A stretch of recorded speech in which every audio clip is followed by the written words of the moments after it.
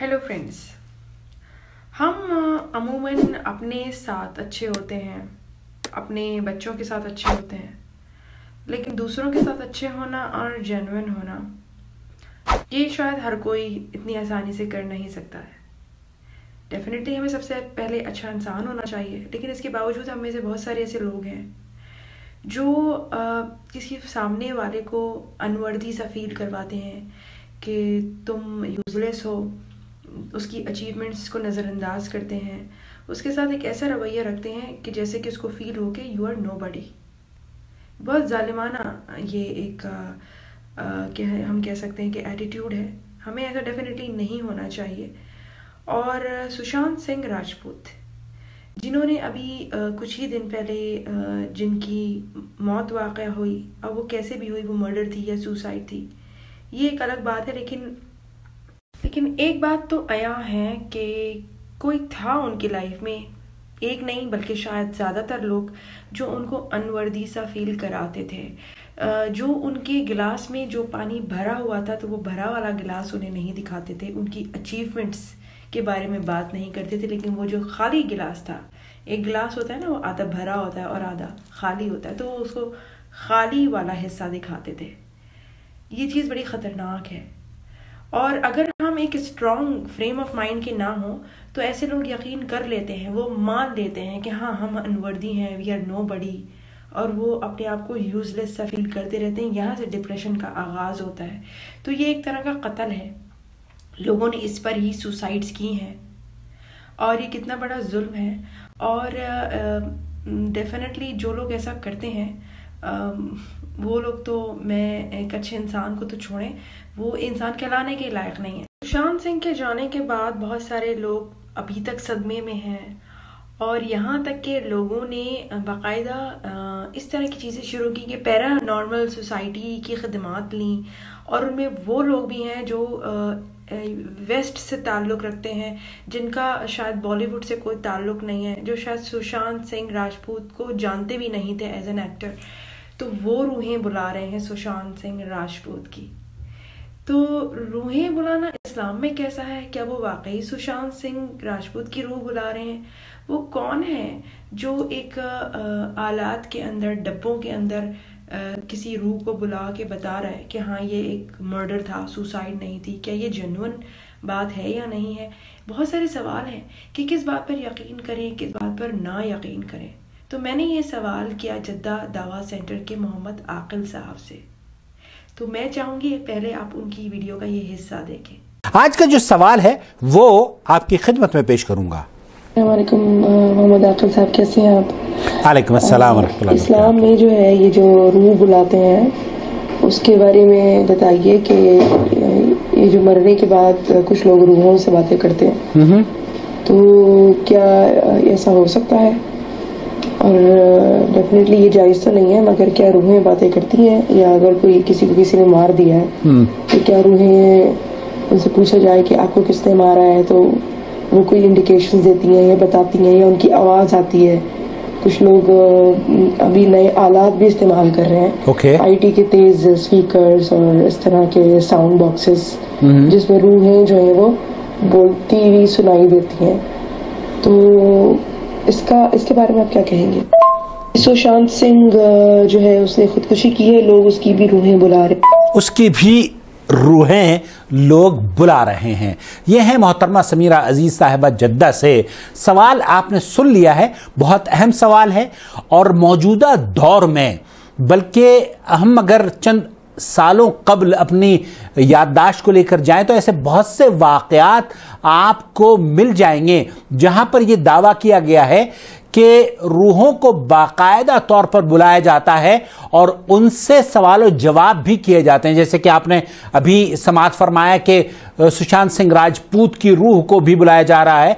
इससे कत नज़र इस पर हम बहस नहीं करेंगे कि उसने खुदकुशी की थी या उसका मर्डर हुआ था। यह हुकूमत का काम है, हकूमती इदारों का काम है, वो इन्वेस्टिगेशन करेंगे और किसी नतीजे पर पहुँचेंगे। हमारा ताल्लुक उस उस कड़ी को सुलझाना है जिस कड़ी से मुसलमान के अकीदे पर जरब पड़ती हो। उस मसले का हल पेश करना है जिस मसले की हकीकत जानकर आप बदअकीदगी से सही कुरान सुन्नत के मनहज तक रसाई कर सकते हो।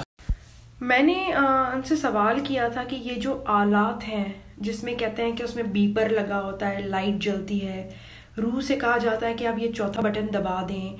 और बहुत सारे लोग हैं जो ये काम कर रहे हैं। और सुशांत सिंह राजपूत की बल्कि आवाज़ भी मैच कर रही है। क्या ये सच है? सवाल में मैंने ये पूछा था कि क्या ऐसा हो सकता है कि इस तरह के आलात जो हैं वो वजूद में हैं? कन्फ्यूज़न है एक अलग सी। अजीब सी एक दौड़ लगी हुई है। हर कोई अपनी बात कर रहा है, क्या सच है, क्या नहीं है, हमें नहीं मालूम। लेकिन इस्लाम इस बारे में क्या कहता है? तो आ, मैं चाहती हूँ कि अब आगे सुने कि मोहम्मद आकल साहब जो हैं इसके आगे इस बारे में क्या कह रहे हैं। इसी तरह का सवाल मुतद कराम से पूछा गया। सऊदी अरब के मुफ्ती आज़म समात शेख अब्दुल अज़ीज़ इबन बाज रहमत से पूछा गया तो उन्होंने कहा कि फ़लकत शाहबैन कसीर मिनन्नास मिन किताब वगैरह तहदीर कि ये बहुत तेज़ी से बीमारी फैल रही है लोगों में कि ये बात आम की जा रही है कि रूहों को बुलाया जा सकता है और रूहों की मदद भी ली जा सकती है किसी भी इन्वेस्टिगेशन में या हकीकत तक रसाई करने में। मेरी और आपकी ज़िम्मेदारी यह है कि हम इन्हें, इन मसाइल को चूँकि रूहों का जो ताल्लुक है, वो रूह के खालिक से है, जिसने उसे पैदा किया है। और वही उसके बारे में बताता है कि इनको आया, इनका मकाम क्या है, और वो इस दुनिया से जब रुखसत हो जाती हैं तो वो कहाँ रहती हैं। इस बात से भी हम इनकार नहीं कर सकते कि कोई ऐसी खुफिया ताकत ज़रूर होती है, जो कि इन आईटी के आलात में रूह की तरीके से जान डाल देती है और आवाज़ की मुमासलत पैदा करके गुमराह करने की कोशिश करती है। बहुत सी ऐसी गैर मरी ताकत वजूद में आती हैं जो कि सामानों या पेंसिल को या कलम को हरकत देना शुरू कर देती हैं और इसकी वजह से लोग ये समझ बैठते हैं कि ये रूह उसी शख्स की रूह है जो कि गई है और हमें आगाह करने के लिए वापस भेज दी गई है, या हमने अपनी किसी ऐसी ताकत के इस्तेमाल से इसको वापस बुला लिया है, जो कि शायद दूसरों के इल्म में नहीं है, दूसरे रूहों को नहीं बुला सकते, हमने उसको बुला लिया है। इस जिम्न में मैं ये अर्ज़ कर देना चाहता हूँ कि मुसलमानों का अकीदा यह है कि इस कायनात में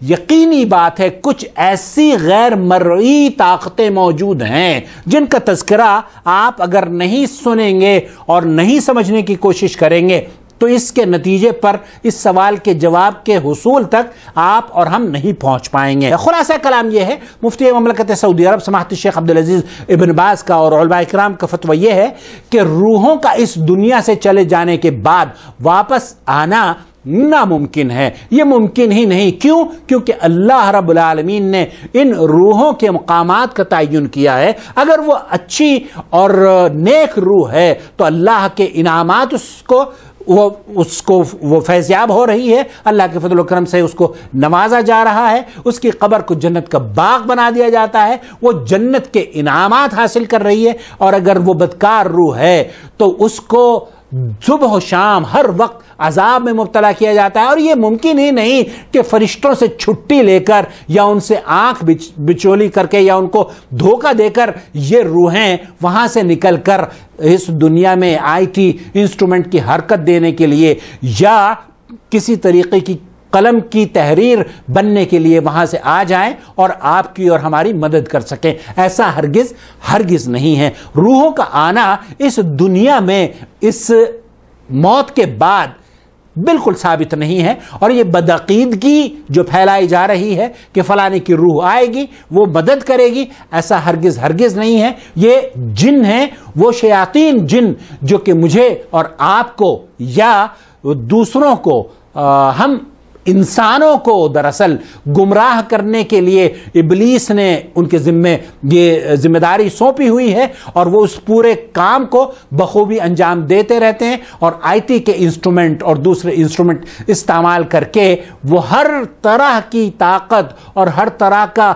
ज़रिया इस्तेमाल करके इन इंसानों की गुमराही का सामान मुहैया हमेशा करते रहते हैं। तो हमें और आपको बचने की ज़रूरत है और इस तरह के फ़िक्र को जड़ से उखाड़ फेंक देने की ज़रूरत है कि रूहों का इस दुनिया में आना, इनके जाने के बाद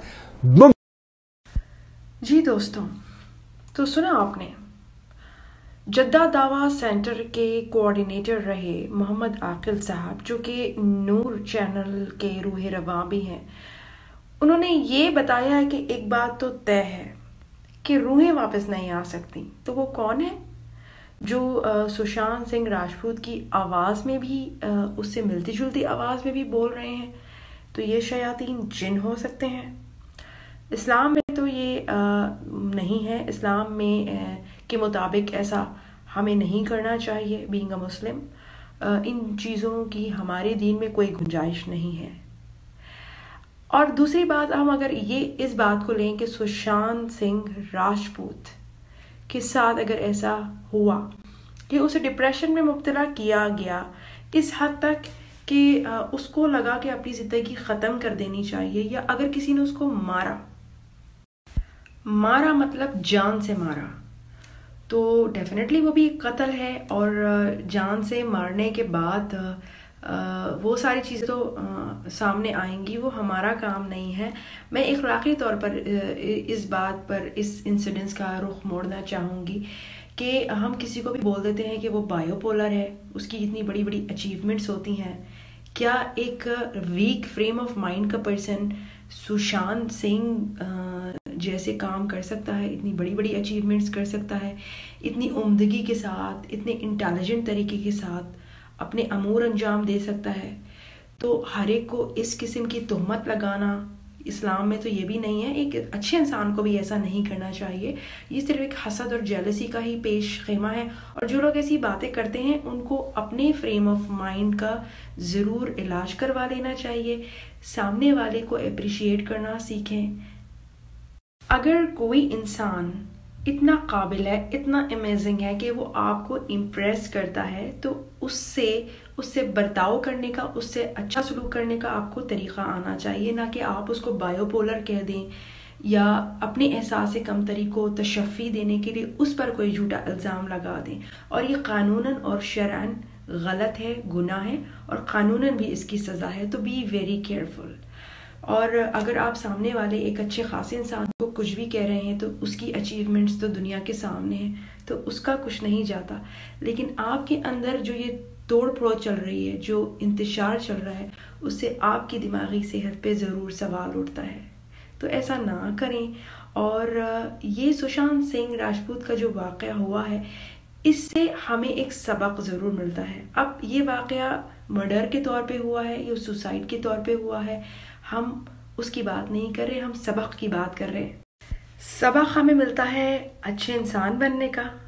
एक्चुअली में जो हमारा रोल मॉडल है और हम नेगेटिविटी की तरफ़ जा रहे हैं और उससे हसद कर रहे हैं तो पॉजिटिविटी की तरफ़ जाइए और उसको फॉलो कीजिए। वो ऐसा कैसे बना कि वो आपको पसंद आ गया?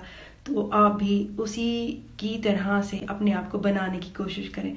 ना कि आप उस पर इस तरह के बेहुदा इल्ज़ाम लगाएँ या बेवकूफ़ाना इल्ज़ाम लगाएँ कि वो तो बायोपोलर है या वॉट इसके अलावा एक चीज़ आप सबको मालूम होनी चाहिए कि बायोपोलर जैसी बीमारी को इस्तेमाल करके डॉक्टरों ने, इन साइकेट्रिस्ट ने अपनी दुकान चमकाने की भी कोशिश की है, पैसा बनाने की कोशिश की है, दवाइयाँ बेचने की कोशिश की हैं, और ऐसे रिश्तेदारों ने जो किसी की जायदाद हड़प करना चाहते हैं, किसी का बिज़नेस हड़प करना चाहते हैं, या कुछ किसी का हक मारना चाहते हैं तो वो बायोपोलर को इस्तेमाल करते हैं एज अ वेपन तो क्राइम है ये.